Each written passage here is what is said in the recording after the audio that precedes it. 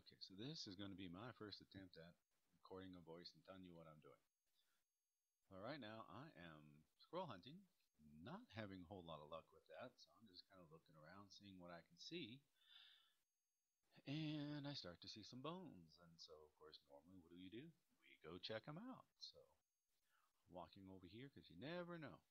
Sometimes you'll find an elk, sometimes you'll find an elk skull, and you'll find the elk teeth or bugle teeth and those are the only legal ivory you can harvest, so they're not cheap.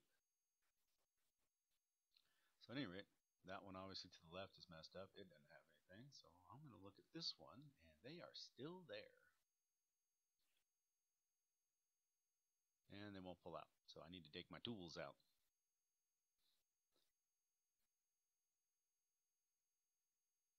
Gotta get the pack off, everything's in my pack.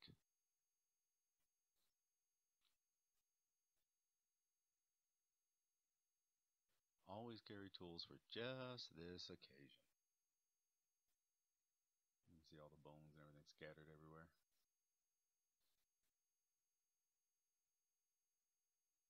Little hammer, some gloves, just in case I do forget an animal. Always got to be safe.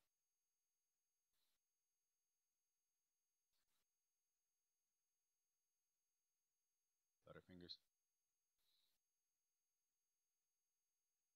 Out it goes. And unfortunately, I did crack the root on that one, but not a big, big deal. I normally file those down anyways.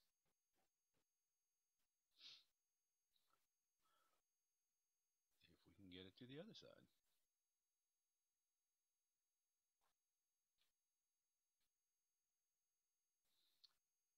And I need a workbench. And that one just pulled right out. No problems. They were small, so it's probably a small young female.